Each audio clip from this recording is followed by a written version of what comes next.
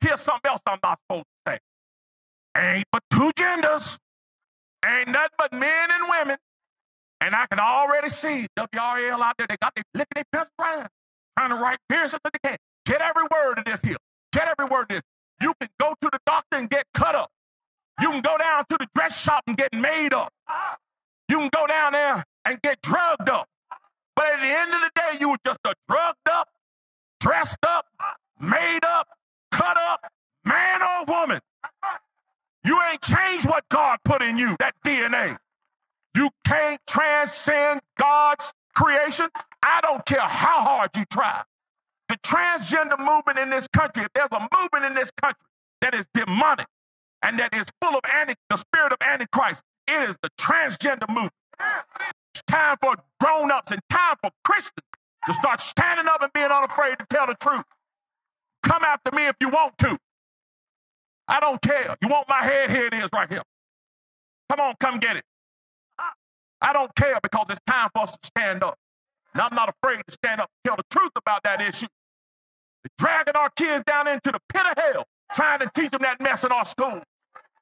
Tell you like this, that ain't got no place at no school. Two plus two don't equal transgender. It equals four. You need to get back to teaching them how to read instead of teaching them how to go to hell. Yeah, I said it, and I mean it.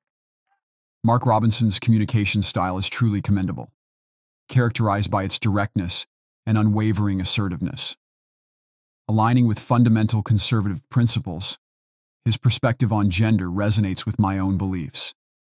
It's crucial that Robinson's stance remains anchored in unwavering principles, a testament to his dedication to specific moral and religious values. Robinson's statements boldly defend what he perceives as fundamental truths.